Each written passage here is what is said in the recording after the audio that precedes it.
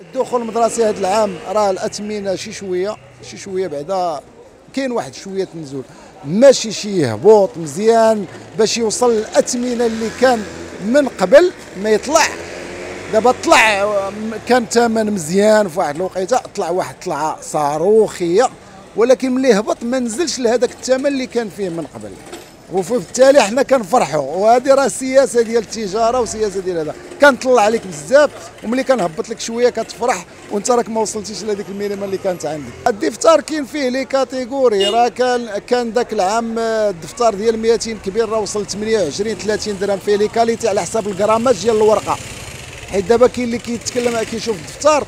ولكن هو كيتكلم على الثمن وما كيعرفش بانه راه كاينين الأثمنة على حسب ديك la masse ديال الورقة. كاينة 60 غرام كاينة 70 غرام كاينة 90 غرام كاين كاين الفيرني من الفوق اللي مغلف على حساب الماء على حساب ليميديتي هاد الأمور هذه كت كتأثر في الثمن. فذاك العام كان واصل 28 كان واصل 32 درهم وهذا. هذا العام لا أنا هابط شي شوية. والآباء الله نقول لهم الله يكون في عوانكم. وفي عواننا جميعا لأنه دابا الأدوات وزائد الصعود الصاروخي ديال الاثمنه ديال المدارس الخصوصية وهم مرغمين. لأن هذا هذا واحد الموضوع آخر لأن ملي كنقولوا المدرسة الخصوصية كنتكلموا على واحد العهد.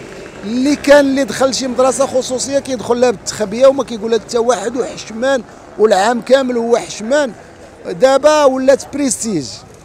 رغم الغلاء وهذا هذا راجع أنه اولا ضربنا المدرسة العمومية وعطينا عليها واحد الفكرة والترسخات عند المواطن لدرجة أن المواطنين جميعا ما بقى حتى واحد باغي يدي وليداته على الأقل في الابتدائي ما بغاش يديهم للبيبليك فكيديهم الخصوصي والخصوصي راك عرفتوا اش فيه. راه الآباء دابا راه الناس راه ولات كتجوع وكتدخل الكريديات اللي لا طاقة لها به.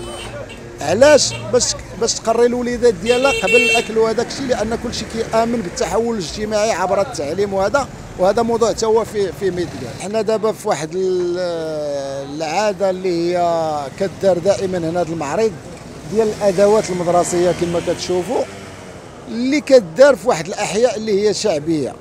أحياء شعبية ملي كنقولوا الشعبية والمدينة القديمة كنقولوا الهشاشه كنقولوا الناس شوية البسطاء وهذا اللي من طبيعة الحال ما يمكنش لهم يقصدوا واحد المكتبات اللي كتواجد في واحد الأماكن اللي كتعد على الطبقة المتوسطة والطبقة الراقيه بحكم الأثمان وبحكم الالتزامات ديالهم بالمكان اللي عندهم فيه المحل ديال التجارة ديالهم المكتبات فبالتالي عندنا شوية الأثمان اللي حنا ملزمين باش نديروا اثمان مزيانة لأنه اولا حتى حنا بدورنا كننتميو لهذا الوسط اللي هو ديال الوسط الهش وهذا.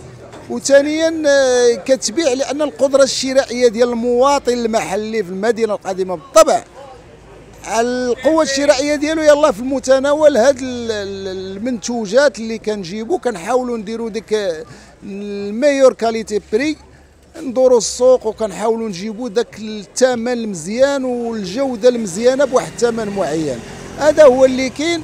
وطبعا آه، الإخوان هنا جميعا كاع الناس كاع الإخوان ديال الطوابل هنايا وهذا في هذا المعرض ديال الدخول المدرسي. راه جميعهم اللي كيدير في الخفاء واللي كيدير في العلن. راه الناس كتعاون مع الناس وكاينين الناس اللي كيجيبوهم الناس وكيتعاونوا معاهم في بزاف ديال الأمور وهذا.